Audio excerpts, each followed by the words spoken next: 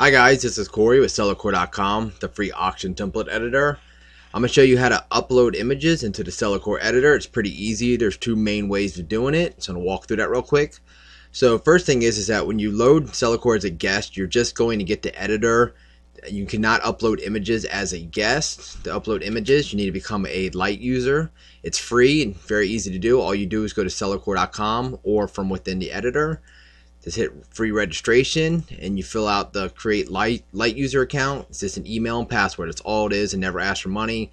All this does is create a unique id for you. So when you upload images sellercore knows who they belong to. So once you become a Lite user you also get access to the sellercore manager which would be this. And from in here you can manage your files images create slideshows manage templates you know change your settings. And this happens to be the, the image manager right here so we'll go back to uploading images. So we'll go to a template page. Just click here. So there's two main ways to do this. You can either upload directly into the editor or you can upload it into the manager and then use your images in the editor. So we'll start with in the editor. So just click a spot. I'm going to go to my image icon. Here it is. And I have two little icons over here. I have a folder icon and a plus icon. This would load images I already had uploaded and this will add a new image. So we'll click that my new image upload box appears. You'll see a few things here. I can select my own file name. I can put it in a folder I've created. It'll give me some image details. I can choose to make the image public or not. Images, almost always you want public. And then over here, I can choose a file directly off the computer, or I can choose it from a URL source, or copy and paste it into the box. And I'm going to show you how to do this real quick. So if I were to go to image URL, this would be the URL at the top of the box to an image. So to get that, I went to Google under images over here. I just did a simple search for laptops. It gave me a bunch of laptops. And, you know, if I find one I liked, I don't know, I'll just pick one somewhere. We'll do this one. Hit here and hit view image. What this is going to do is take me to the actual image URL. So across the top, you'll see I have it hidden for this demo. But across the top, you'll see the URL. It'll be a .jpeg, .gif, .png, whatever happens to be. If you have multi-screens, you can just click the image, drag and drop it in that box, or you can right-click, hit copy image URL or copy image. Then you'd go back to the editor. You could paste the URL here, or you can just simply paste the image there, and it'll do it for you. So it automatically loads everything for you. It tells the image size. Give us a file name. This would be the name it was already called, so you can you can name it wherever you want call it laptops. And last we have adjust size. This would be if you took the picture yourself and are uploading and it's a huge image you've probably seen on emails and stuff.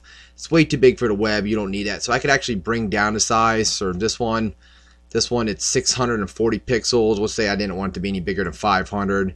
Gives me a little detail of it right there. And then from there, guys, you simply make sure you have the folder you like and hit upload.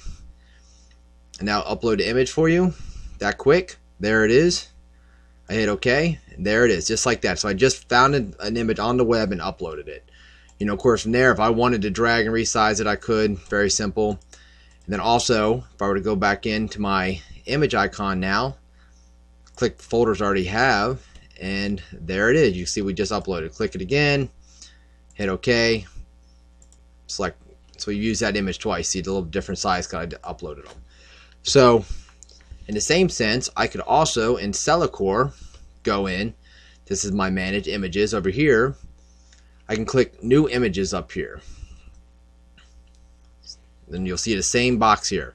This time I'm to pick one off the computer. Go in, I'll pick this laptop image. Going from there, once again, I can change things if I like. I actually want to put this in a different folder. I created this folder by simply creating a new folder here. You can make subfolders however you like. You can move them around. I'm just going to put this one under laptop images, just like that. Hit save new image. There it is. It put it in that folder for me. I can preview it if I like. Now if we were to go back to the editor, we have a new line here. I have a few options again. If I were to refresh my files over here, you'll see two things. You'll see the laptop that we just uploaded and the other one I happen to call laptops. So I could click this to drop it in or once again, I could go into my folders. One of folders, hit uh, we put that under laptop images, and there it is. click it, put it down here, stick it in there. That easy, guys, and drag it, resize it if I like. Alright guys, this is Corey with Sellercore.com, the free auction template editor. This is uploading images. Please leave any questions or comments below. Thank you.